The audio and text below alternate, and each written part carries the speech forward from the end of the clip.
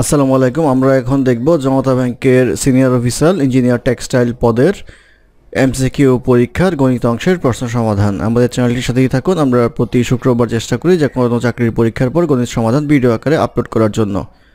অঙ্ক শুরু হবে একুশ নম্বর অঙ্ক দিয়ে। একুশ নম্বর অঙ্কে বলা আছে the present worth of taka one sixty nine due in two year at four percent per annum compound interest is অর্থাৎ এখানে বলা আছে একশো উনসত্তর টাকা হয়, যেটার কম্পাউন্ড ইন্টারেস্ট দুই বছরে চার পার্সেন্ট ইন্টারেস্ট রেটে জিজ্ঞাসা করা হয়েছে প্রিন্সিপাল অ্যামাউন্টটা কত ছিল। তো আমরা সূত্র অনুসারে জানি কম্পাউন্ড ইন্টারেস্টের C equal to P into one plus R whole to the power N তো এখানে সি হচ্ছে আমরা সুদ আসলে অর্থাৎ ইন্টারেস্ট প্লাস প্রিন্সিপাল মিলিয়ে এটা আসবে হচ্ছে one sixty nine equal to লিখে যাবে পি হচ্ছে প্রিন্সিপাল প্লাস আর হচ্ছে four by one hundred whole square N যেহেতু দুই, সেহেতু দুই বছরের জন্য, তাহলে one sixty nine equal to P into twenty six by twenty five whole square বা এখান থেকে পি এর মান বের করলে পাওয়া যাবে হচ্ছে one five six point two five অর্থাৎ one fifty six point two five টাকা হবে হচ্ছে প্রিন্সিপাল অ্যামাউন্ট এটি হবে এই প্রশ্নের উত্তর। তারপরে প্রশ্ন number twenty two number twenty টুতে বলা আছে when the speed is increased by four miles per hour it takes 4 hours less to cover a distance of 32 kilometre find the previous speed এখানে প্রশ্নে সামান্য একটু ভুল আছে, সেটা হচ্ছে 4 মাইল পার আওয়ার এটা হবে হচ্ছে 4 কিলোমিটার পার আওয়ার আর 32 কিলোমিটার তো এই ক্ষেত্রে আমরা ধরে নেই স্পিডটা ছিল হচ্ছে এক্স আর বর্তমানে হয়ে গেছে হচ্ছে যেহেতু চার ইনক্রিজ করা হয়েছে X plus four kilometre per hour তাহলে আমরা বলতে পারব হচ্ছে থার্টি টু মাইল যদি যায় বা থার্টি টু কিলোমিটার যদি যায় এক্স কিলোমিটার পার আওয়ার গতিবেগে, তাহলে সময় লাগবে হচ্ছে থার্টি টু বাই এক্স আর ফিরে আসতে thirty two divide by X plus four অর্থাৎ দ্বিতীয়বার যেটা চিন্তা করা হয় যে চার মাইল পার আওয়ার বাড়িয়ে দেয়, সেই ক্ষেত্রে আমাদের সময় লাগবে হচ্ছে thirty two by X plus four এটা কম বেশি হওয়ার কারণে তার চার ঘণ্টা সময় বেশি লাগে, তাহলে time minus time equal to time এখানে আসবে হচ্ছে ফোর বা এটা ক্যালকুলেশন করলে এক সময় পাওয়া যাবে হচ্ছে X square plus four X এটা আসবে হচ্ছে thirty two X plus one twenty eight minus thirty two X equal to আসবে হচ্ছে ফোর বা এটা ক্যালকুলেশন করলে এক সময় পাওয়া যাবে X square plus four X minus thirty two equal to zero বা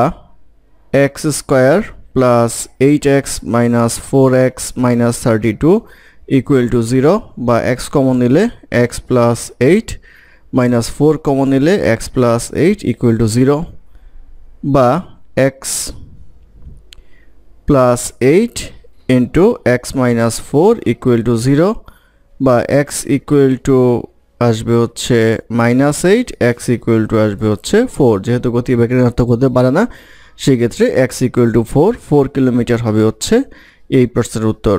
কিন্তু এখানে মাইল এবং কিলোমিটারের সমস্যার কারণে হয়তো সঠিক উত্তর পাওয়া যাবে না সেই ক্ষেত্রে আমরা কিলোমিটার পার আওয়ার ধরেই অঙ্কটা করলাম। তারপর প্রশ্ন নাম্বার টোয়েন্টি থ্রি টোয়েন্টি থ্রিতে বলা আছে the radius of a circle is increased so that the circumference by five percent the area of the circle will be increased by এখানে বলা আছে যে রেডিয়াস যদি আমার এমনভাবে বাড়ে যে সার্কামফারেন্স পাঁচ পার্সেন্ট বেড়ে যায়। সেই ক্ষেত্রে আমার এরিয়া কত পার্সেন্ট বাড়বে? তো রেডিয়াস এবং সার্কামফারেন্সের হিসাবটা সমানুপাতিক। সেই ক্ষেত্রে রেডিয়াস ফাইভ পার্সেন্ট বাড়া আর সার্কামফারেন্স ফাইভ পার্সেন্ট বাড়া সমান। এখন ক্ষেত্রফলের ক্ষেত্রে আমাদের ক্ষেত্রফল যদি দশ থাকতো, অর্থাৎ রেডিয়াস যদি দশ থাকতো, তাহলে ক্ষেত্রফল পাওয়া যেত হচ্ছে একশো।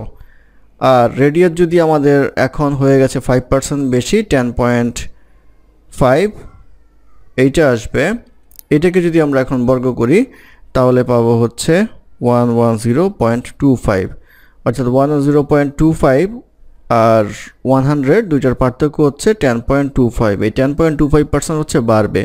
আপনাদের মনে প্রশ্ন আসতে পারে যেটা কেন স্কোয়ার করা হয়েছে? স্কোয়ার করা হয়েছে এই কারণে আপনি যখন পাই আর স্কোয়ার সূত্র করবেন, তখন ভেরিয়েবল এখানে হচ্ছে আর আবার যখন pi ten point five square করবেন, তখনও ভেরিয়েবল হচ্ছে আর অর্থাৎ টেন পয়েন্ট ফাইভ এখানে ভেরিয়েবল হবে হচ্ছে পাই টেন স্কোয়ার শেষ পর্যন্ত যখন আমরা কম্পেয়ার করব পার্সেন্টেজ নিব, তখন পাই পাই কাটাকাটি যাবে। সেই ক্ষেত্রে প্রথমেই শর্টকাট করার ক্ষেত্রে আপনি পাই মান বাদ দিয়ে হিসাব করতে পারেন যদি রেশিও হিসাবে আসতে থাকে। তাহলে এটি হবে এই প্রশ্নের উত্তর। Sorry ten point two five percent হবে এই প্রশ্নের উত্তর। তারপর প্রশ্ন নাম্বার টোয়েন্টি ফোর টোয়েন্টি ফোরে বলা আছে wire can bend in the form of circle of radius 56 centimeter. If it is bent in the form of a square, then what will be its area? অর্থাৎ এই একটা তার আছে, এটার যেটা বলা আছে, একটা বৃত্তাকার করা হয়েছে এবং এটার রেডিয়াস হচ্ছে ফিফটি সিক্স সেন্টিমিটার তাহলে এটা দিয়ে যদি আমরা বর্গক্ষেত্র আঁকি, তাহলে কত হবে? তাহলে আমাদের বের করতে হবে হচ্ছে এই পরিসীমাটা। এই পরিসীমা সূত্র হচ্ছে টু পাই আর তাহলে টু ইন্টু বাইশ বাই সাত ইন্টু আর হচ্ছে ফিফটি সিক্স এটা ক্যালকুলেশন করলে পাওয়া যাবে হচ্ছে থ্রি ফিফটি টু তো থ্রি ফিফটি টু হচ্ছে এই বাহুর দৈর্ঘ্য, অর্থাৎ পরিসীমা বা পরিধি।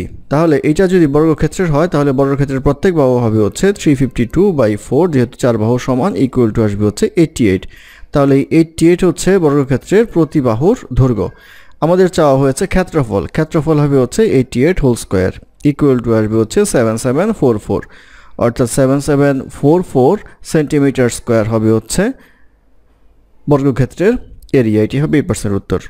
তারপর প্রশ্ন number twenty five number twenty ফাইভে বলা আছে in a railway compartment six seats are vacant on a bench in how many ways can three passenger sit on them তিনজন প্যাসেঞ্জার ছয়টা সিট কতভাবে দখল করতে পারবে? এটা হবে হচ্ছে six permutation three equal to আসবে হচ্ছে ওয়ান টোয়েন্টি একশো বিশ ভাবে হবে হচ্ছে এই প্রশ্নের উত্তর।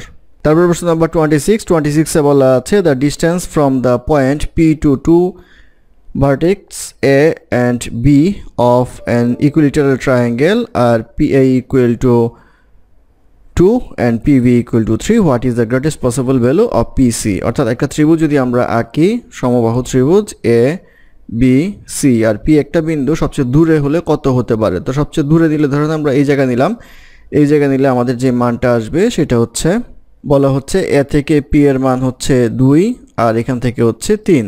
তাহলে এই বাহুর যে দৈর্ঘ্যটা আসবে, সেই বাহুটা তিন এবং দুইয়ের মাঝামাঝি আসতে পারে, অর্থাৎ সর্বোচ্চ হলে এটা পাঁচ হতে পারে। যদি এই বাহুটার দৈর্ঘ্য পাঁচ হয়, অর্থাৎ তিন আর দুই পাঁচ হয়, তাহলে পি বিন্দুটা সবচেয়ে কাছে হবে। পি বিন্দু সবচেয়ে কাছে হলে আমাদের এই দূরত্ব যেটা আছে, সেটা সর্বোচ্চ, ম্যাক্সিমাম পাঁচের কাছাকাছি হবে এবং পাঁচের চেয়ে কম হবে। সেই ক্ষেত্রে আমরা বলতে পারব হচ্ছে ফাইভ এই প্রশ্নের উত্তর। অর্থাৎ পিসির মান হবে হচ্ছে সর্বোচ্চ ফাইভ তারপর প্রশ্ন number twenty seven number twenty সেভেনে বলা আছে the average of ten integers is sixteen if the sum of six of them is one hundred what is the average of other four এখানে বলা আছে, দশটা ইন্টিজারের অ্যাভারেজ হচ্ছে সিক্সটিন তাহলে ten into sixteen equal to আসবে হচ্ছে one sixty এটা হচ্ছে টোটাল আর ছয়টা যে আছে, সেই ছয়টার অ্যাভারেজ হচ্ছে ওয়ান হান্ড্রেড টোটাল হচ্ছে ওয়ান হান্ড্রেড তাহলে বিয়োগ করলে পাওয়া যাবে হচ্ছে সিক্সটি এই সিক্সটি হচ্ছে বাকি যে চারটা থাকে, সেই চারটার টোটাল তাহলে এটাকে চার দ্বারা ভাগ করলে ইকুয়াল টু পাওয়া যাবে হচ্ছে ফিফটিন এই পনেরো হবে হচ্ছে বাকি চারটার অ্যাভারেজ নাম্বার এটা হবে এই প্রশ্নের উত্তর। তারপর প্রশ্ন number twenty eight number twenty এইটে বলা আছে if P and N are integer such that P is greater than N is greater than zero then P square minus N square equal to twelve which of the following value of P minus N তো আমরা যদি করি P এবং N দুইটা integer হয়, আর বলা আছে P is greater than N equal to zero R P square minus N square equal to twelve তাহলে আমরা মান যদি বসাই, তাহলে পি এর মান যদি চার বসাই, চার চারের ষোলো, আর এন এর মান দুই বসাই, দুই দুকোণে চার ইকুয়াল টু আসবে টুয়েলভ তাহলে পি ইকুয়াল টু আমরা লিখতে পারব হচ্ছে ফোর এন ইকুয়াল টু লিখতে পারব হচ্ছে টু আমাদেরকে জানতে হয়েছে পি মাইনাস এন তাহলে P minus N equal to আসবে হচ্ছে four minus two equal to আসবে হচ্ছে টু এই টু হবে এই প্রশ্নের উত্তর। তারপর প্রশ্ন number twenty nine number twenty নাইনে বলা আছে income tax is raised from taka four to taka five but the revenue is increased by ten percent only find the decreased percentage in the amount taxed অর্থাৎ কত টাকার উপরে tax ধরা হয়েছিল এবং কত পার্সেন্ট ট্যাক্স অ্যামাউন্ট ডিক্রিজ হয়েছে সেটা জানতে চাওয়া হয়েছে। আর এখানে যে চার টাকা এবং পাঁচ টাকা দেওয়া আছে, এটা হবে হচ্ছে চার পার্সেন্ট পাঁচ পার্সেন্ট অর্থাৎ একশো টাকায় চার টাকা, একশো টাকা, পাঁচ টাকা। এইটা হবে আর কি, এটা ক্লিয়ারলি অঙ্কে দেওয়া নাই, কিন্তু মেইন অঙ্কে এটা দেওয়া থাকার কথা। সেই ক্ষেত্রে চার টাকা এবং পাঁচ টাকা বলতে বুঝে চার পার্সেন্ট এবং পাঁচ পার্সেন্ট এখন ধরে নিই আমরা রেভিনিউ কালেকশন বলতে এখানে বোঝাচ্ছে যে কত টাকা ট্যাক্স আদায় করা হয়েছে। তাহলে ধরে নেই প্রথমের টাকা ছিল এক্স টাকা, তারপরে হয়ে গেছে ওয়াই টাকা ট্যাক্সড অ্যামাউন্ট অর্থাৎ এই টাকার উপরে ট্যাক্স ধরা হয়। তাহলে প্রথমে ধরা হয়েছিল ফোর পার্সেন্ট তাহলে four percent of X equal to ধরেন একশো টাকা ছিল হচ্ছে টোটাল ট্যাক্সের পরিমাণ। আর এরপরে যখন আমার ফাইভ পার্সেন্ট হলো ফাইভ পার্সেন্ট অফ ওয়াই টাকার তখন আমাদের এইটার টেন পার্সেন্ট বেড়ে গেল। অর্থাৎ রেভিনিউ মানে হচ্ছে এখানে ট্যাক্স কালেকশন সেই ক্ষেত্রে একশো দশ টাকা হচ্ছে ট্যাক্স কালেকশনের সমান। বা এটা ক্যালকুলেশন করলে four by hundred into X equal to one hundred five by hundred into Y equal to one one ten বা এটা ক্যালকুলেশন করলে ওয়াই ইকুয়াল টু পাওয়া যাবে হচ্ছে টু টু জিরো জিরো আর এখানে ক্যালকুলেশন করলে এক্স ইকুয়াল টু পাওয়া যাবে হচ্ছে টু ফাইভ জিরো জিরো অর্থাৎ আগে ছিল পঁচিশশো টাকা ট্যাক্স অ্যামাউন্ট অর্থাৎ যার উপর ট্যাক্স ধরা হয়েছিল, এখন সেই টাকা কমে হয়ে গেছে বাইশশো টাকা। কিন্তু ট্যাক্সের যেই রেশিওটা অর্থাৎ ট্যাক্সের যে পার্সেন্টেজ সেটা বাড়িয়ে দেওয়া হয়েছিল। যাই হোক, এখন আমরা দেখব হচ্ছে কত পার্সেন্ট কমলো। কমলো হচ্ছে, আমাদের আগে ছিল হচ্ছে পঁচিশশো, এখন হয়ে গেছে হচ্ছে বাইশশো ইকুয়াল টু কমলো হচ্ছে তিনশো। তাহলে তিনশো কমলো কতর মধ্যে? তিনশো কমলো হচ্ছে পঁচিশশোর মধ্যে। তাহলে একশোর মধ্যে কত কমলো? ইকুয়াল টু আসবে হচ্ছে টুয়েলভ পার্সেন্ট এই টুয়েলভ পার্সেন্ট হবে হচ্ছে এই প্রশ্নের উত্তর। তারপর প্রশ্ন নাম্বার থার্টি নাম্বার থার্টিতে বলা আছে find the area of rhombus one side of which measures twenty centimetre one diagonal twenty four centimetre তো আমরা এই একটা রম্বস টানি। রম্বসের আপনারা জানেন, চার বাহুর সমান হয় এবং কোণগুলি কোনোটাই সমকোণ নয়। সেই ক্ষেত্রে আমরা এটা একটা রম্বস আঁকলাম, একটা বাহু ধরে নিলাম হচ্ছে টোয়েন্টি, আর একটা যেই কর্ণ আছে এটা ধরে নিলাম হচ্ছে টোয়েন্টি ফোর। তো এটা যদি টোয়েন্টি ফোর হয়, আমরা যদি এদিকে একটা কর্ণটা নিই, তাহলে আমরা জানি রম্বসের কর্ণদ্বয় পরস্পরকে সমকোণে সমদ্বিখণ্ডিত করে। তাহলে এইটুক হবে হচ্ছে বারো, এইটুক হবে বারো। আমরা যদি নাম দিয়ে দেই এ বি সি ডি আর ও তাহলে আমরা এখানে বলতে পারব যে ত্রিভুজ এ ও বিতে এ ও বিতে দেওয়া আছে হচ্ছে O B equal to twelve R A B equal to twenty আমাদের বের করতে হবে হচ্ছে এই কর্ণটা। এই কর্ণটা বের করার মূল উদ্দেশ্য হচ্ছে আমরা যেহেতু ক্ষেত্রফল বের করব, ক্ষেত্রফলের সূত্র হচ্ছে হাফ ইন্টু কর্ণদ্বয়ের গুণফল। তাহলে আমরা এখানে যদি এসসি বের করতে যাই, সেই ক্ষেত্রে প্রথমে আমাদের এই ত্রিভুজে এও বের করতে হবে। A O square equal to A B square minus O B square তো এটা করলে এ বি স্কোয়ার হচ্ছে twenty square minus twelve square equal to calculation করলে আসবে হচ্ছে টু ফিফটি সিক্স তো আমাদের এ ও ইকুয়াল টু আসবে হচ্ছে root over two fifty six equals to আসবে হচ্ছে সিক্সটিন এই ষোলো হবে হচ্ছে এ ওর মান। তাহলে এ ও যদি ষোলো হয়, তাহলে এসি ইকুয়াল টু আসবে হচ্ছে ষোলো ইন্টু দুই ইকুয়াল টু আসবে হচ্ছে বত্রিশ। আমাদের এরিয়া বের করতে বলছে। এরিয়া ইকুয়াল টু হবে হচ্ছে half into diagonal one into diagonal two equal to আসবে হাফ ইন্টু প্রথম ডায়াগন যেটা দেওয়া ছিল, সেটা ছিল হচ্ছে টোয়েন্টি ফোর দ্বিতীয় ডায়াগন আমরা বের করলাম হচ্ছে থার্টি টু তাহলে এটা ক্যালকুলেশন করলে আমরা পাবো হচ্ছে থ্রি এইট্টি ফোর এই থ্রি এইট্টি ফোর হবে হচ্ছে রম্বসের ক্ষেত্রফল। অর্থাৎ three eighty four centimetre square এটি হবে এই প্রশ্নের উত্তর। ধন্যবাদ আমাদের সাথে থাকার জন্য। আমাদের চ্যানেলটি ভালো লাগলে অবশ্যই সাবস্ক্রাইব করবেন, লাইক, কমেন্ট এবং শেয়ার করবেন এবং অঙ্কে কোনো সমস্যা থাকলে আমাদের কমেন্টে জানাবেন। আমরা চেষ্টা করব ডিসক্রিপশানে তার সমাধান বা কারেকশন দেওয়ার জন্য। ধন্যবাদ।